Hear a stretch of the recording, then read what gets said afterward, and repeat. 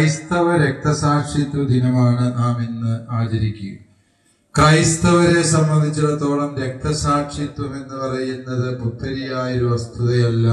ബഹുമാനപ്പെട്ട ഉദ്ഘാടകൻ നേരത്തെ സൂചിപ്പിച്ചതുപോലെ ക്രിസ്തീയത ആരംഭിച്ചത് തന്നെ ആത്യന്തികമായി യേശു ക്രിസ്തുവിന്റെ രക്തസാക്ഷിത്വത്തിലായിരുന്നു എന്നതാണ് പരമമായ സത്യം.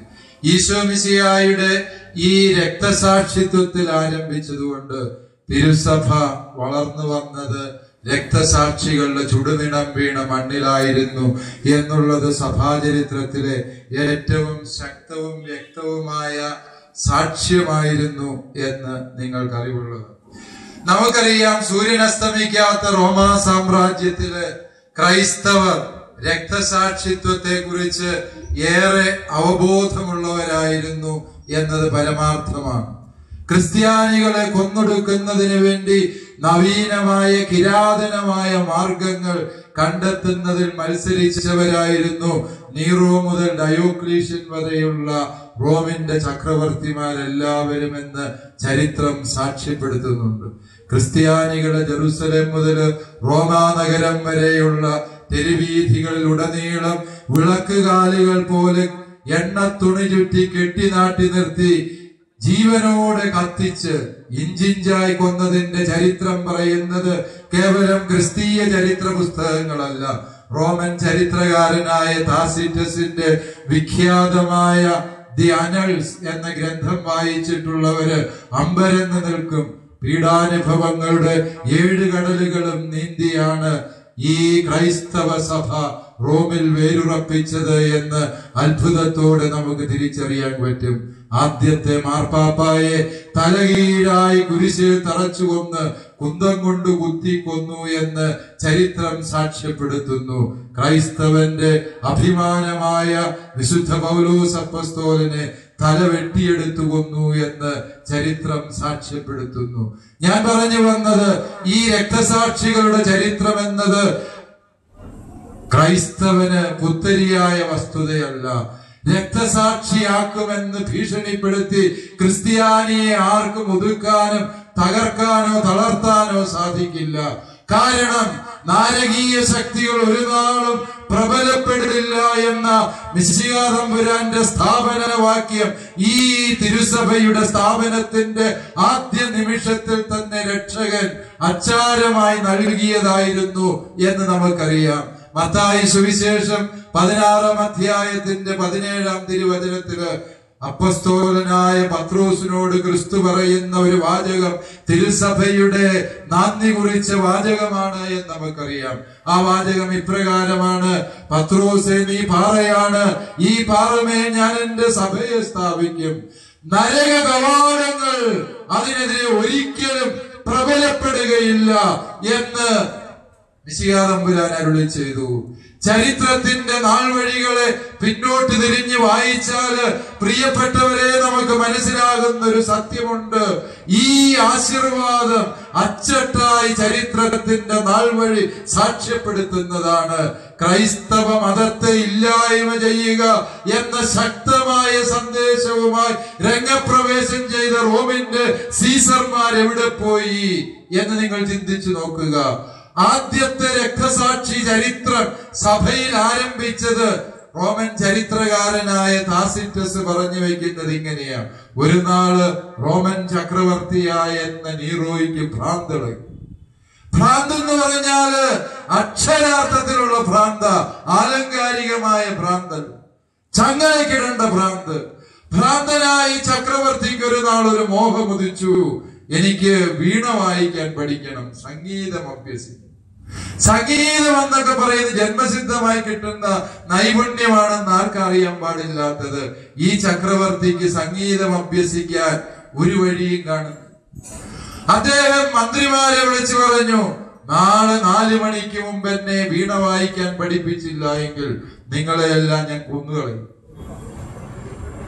മന്ത്രിമാര് തലമുകഞ്ഞ് ആലോചിച്ച് ഒരു വഴി കണ്ടുപിടിച്ചു. റോമാ നഗരത്തിന് തീയിടുക. അതാണ് വഴി. അദ്ദേഹം ചക്രവർത്തിയോട് പറഞ്ഞു ചക്രവർത്തിയെ സംഗീതത്തിന്റെ താളം എന്ന് പറയുന്നത് അഗ്നിനാളങ്ങളുടെ താളം തന്നെയാണ്. അഗ്നിനാളങ്ങളുടെ താണ്ഡവ നൃത്തം കണ്ടാൽ ഏതൊരുവന്റെയും മനസ്സിൽ സംഗീതമുണരുമെന്ന് മന്ത്രി പറഞ്ഞത് കേട്ട് രാജാവ് കൽപ്പിച്ചു റോമാ നഗരത്തിന് തീയിടണമെന്ന് ചരിത്രം സാക്ഷ്യപ്പെടുത്തുന്നു. എ ഡി അറുപത്തിനാലാം ആണ്ട് ജൂലൈ മാസം ഇരുപത്തിനാല് മുതൽ ഓഗസ്റ്റ് മാസം ഏഴാം തീയതി വരെയും റോമാ നഗരം കത്തിയെരിഞ്ഞു എന്ന്.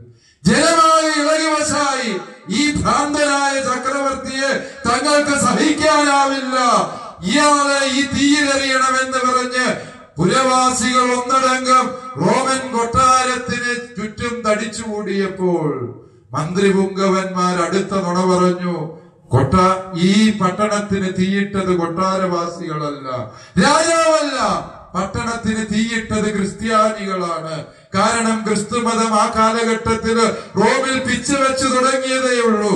ബാലാരിഷ്ടതകൾ വിട്ടുമാറാത്ത ഈ മതത്തെ മുച്ചൂടും തകർക്കുന്നതിന് കല്ലുവെച്ച ഈ ഒരു നുണ പറഞ്ഞ മതി എന്ന് അവർക്ക് മനസ്സിലായിരുന്നു.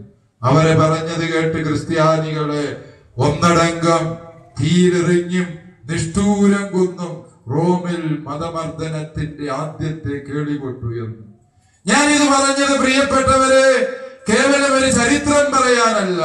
അതൊരു അടിസ്ഥാനപരമായ സത്യത്തിലേക്ക് വിരൽ ചൂണ്ടുന്നത് എവിടെയെല്ലാം ഭരണകൂടങ്ങൾക്ക് ഭ്രാന്തിളകുന്നുവോ അധികാരത്തിന്റെ പ്രബദ്ധത ആരെയെല്ലാം തലയ്ക്ക് പിടിക്കുന്നുവോ ആരുടെയെല്ലാം തലയിൽ നിന്ന് യുക്തിബോധത്തിന്റെ സ്വാഭാവികത പടിയിറങ്ങി പോകുന്നുവോ അവിടെയെല്ലാം ക്രിസ്ത്യാനികൾ വിലവെടുക്കേണ്ടി വന്നു എന്നുള്ളത് ചരിത്രം നമുക്ക് തരുന്ന പൊള്ളുന്ന പാഠമായിരുന്നു. അത് കമ്മ്യൂണിസ്റ്റ് കിരാത ഭരണത്തിൻ കീഴിൽ സ്റ്റാലിന്റെ കീഴിൽ ഏകദേശം മൂവായിരം വൈദികരും ഇരുപത്തിയേഴ് മെത്രാന്മാരും മൂന്ന് ലക്ഷത്തിലധികം ക്രിസ്ത്യാനികളും കൊല ചെയ്യപ്പെട്ട കമ്മ്യൂണിസ്റ്റ് കിരാത ഭരണത്തിൻ കീഴിലാവട്ടെ. തൊണ്ണൂറ് ലക്ഷം യൂതരെ കൊന്ന ഹിറ്റ്ലർ ഏകദേശം ഏഴ് ലക്ഷത്തോളം ക്രൈസ്തവരെയും അതോടൊപ്പം കൊന്നൊടുക്കി എന്നുള്ളത് ചരിത്രത്തിന്റെ പൊള്ളുന്ന പാഠങ്ങളിൽ മറ്റൊന്നായിരുന്നു. ഭരണകൂടങ്ങൾക്ക് ഭ്രാന്തിളകുമ്പോൾ എക്കാലവും വില കൊടുക്കേണ്ടി വരുന്നത് ക്രൈസ്തവ സഭയായിരുന്നു എന്നുള്ളതിന്റെ ചരിത്രത്തിന്റെ നാൾവഴിയിലെ ഏതാനും ദൃഷ്ടാന്തങ്ങൾ മാത്രം ഞാൻ ചൂണ്ടിക്കാണിച്ചെന്നേ ഉള്ളൂ. പ്രിയപ്പെട്ട സഹോദരങ്ങളെ ക്രിസ്ത്യാനിയുടെ രക്തസാക്ഷി എന്ന ആ പേര് എനിക്കിവിടെ ഉച്ചരിക്കാൻ തന്നെ വിഷമമാണ്. കാരണം ഇന്ന് എല്ലാവരും രക്തസാക്ഷികളെ കുറിച്ച് പറയും ഇല്ലേ എല്ലാ പാർട്ടിക്കാർക്കും രക്തസാക്ഷികളുണ്ട്. വലതുപക്ഷത്തിനുണ്ട് രക്തസാക്ഷികൾ ഇടതുപക്ഷത്തുണ്ട് രക്തസാക്ഷികൾ. ആ രക്തസാക്ഷികളുടെ നിലയിൽ ഈ നമ്മുടെ ക്രൈസ്തവ രക്തസാക്ഷികളെ നിർത്തേണ്ടി വരുമോ എന്നുള്ള ലജ്ജ കൊണ്ടാണ് ആ പേര് പറയാൻ ഞാൻ പഠിക്കുക. കാരണം ഇവിടുത്തെ രക്തസാക്ഷികളൊക്കെ ഏതുതരം രക്തസാക്ഷികളാണ് എന്ന് നിങ്ങൾ ചിന്തിച്ചു നോക്കുക. ആരാണ്ട് നേരെ മെക്കിട്ട് കയറാൻ പോയി?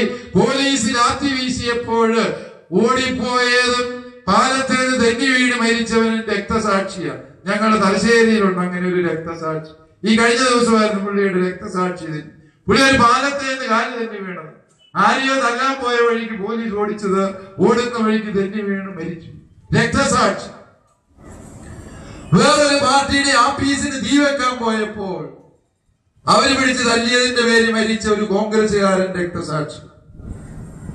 ഇനിയാണ് രക്തസാക്ഷികൾ. കയ്യിലിരുന്ന ബോംബ് പൊട്ടിത്തെറിച്ച് മരിച്ച ഒരുപാട് രക്തസാക്ഷികൾ കണ്ണൂർ തലശ്ശേരി ഭാഗത്തുണ്ട്. അതാ ഞാൻ പറഞ്ഞത് എനിക്ക് ലജ്ജയുണ്ട് ക്രൈസ്തവ രക്തസാക്ഷികൾ എന്ന പദം പറയാൻ. കാരണം അർത്ഥമില്ലാത്ത ഇത്തരം രക്തസാക്ഷിത്വങ്ങളുടെ കള്ളനാണയങ്ങൾക്ക് നടുവിൽ നക്ഷത്ര ശോഭയുള്ള ഈ വിശുദ്ധാത്മാക്കളുടെ പേര് എഴുതി ചേർക്കപ്പെടാൻ പാടില്ല എന്ന് ഞാൻ ആത്മാർത്ഥമായി വിശ്വസിക്കുന്നു. കാരണം ക്രൈസ്തവന്റെ രക്തസാക്ഷിത്വം ആരെയും പീഡിപ്പിച്ചതിന്റെ ചരിത്രമല്ല ആർക്കുമെതിരെ പടവാൾ ഉയർത്തിയതിന്റെ ചരിത്രമല്ല. ധീര രക്തസാക്ഷിയായ സെബസ്ത്യാനോസിന്റെ രൂപം നിങ്ങളും ഓർക്കുക. ഓരോ ക്രിസ്ത്യാനിയും നെഞ്ചിലേറ്റുന്ന ധന്യാത്മാക്കളായ രക്തസാക്ഷികളിൽ അഗ്രഗണ്യനാണ് വിശുദ്ധ സെബസ്ത്യാനോസ് നമുക്കറിയാം. ഈ പുണ്യവാളന്റെ രൂപം കണ്ട് ഒരു കൈ ശിരസിന്റെ പിന്നിൽ വെച്ച് മറുകൈ ശരീരത്തിന് പിന്നിൽ വെച്ച് ഒരു നിപ്പാണ്. എന്തൊരു ധീരമായ ഉദാത്തമായ ഉജ്ജ്വലമായ നിൽപ്പാണത്. എത്ര അമ്പ് വേണമെങ്കിലും എന്റെ നെഞ്ചിലേക്ക് എഴുതുകൊള്ളുക. ആരോടും പരാതിയില്ല പരിഭവമില്ല.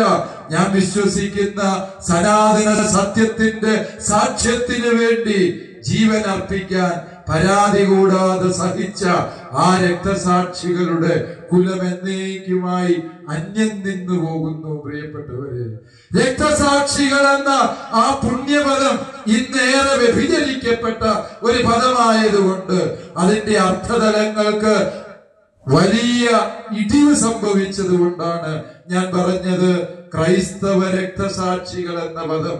ഈ നാടിന്റെ പശ്ചാത്തലത്തിൽ നിന്നുകൊണ്ട് പറയാൻ പലപ്പോഴും നമ്മൾ മടിക്കേണ്ട സാഹചര്യമുണ്ട്. ഓർക്കുക